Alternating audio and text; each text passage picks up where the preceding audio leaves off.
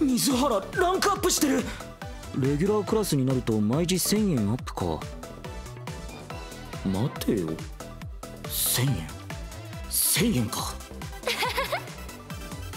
本来ならいろいろ注文要望したりとかお弁当作ってもらうやつもいるって。どうも。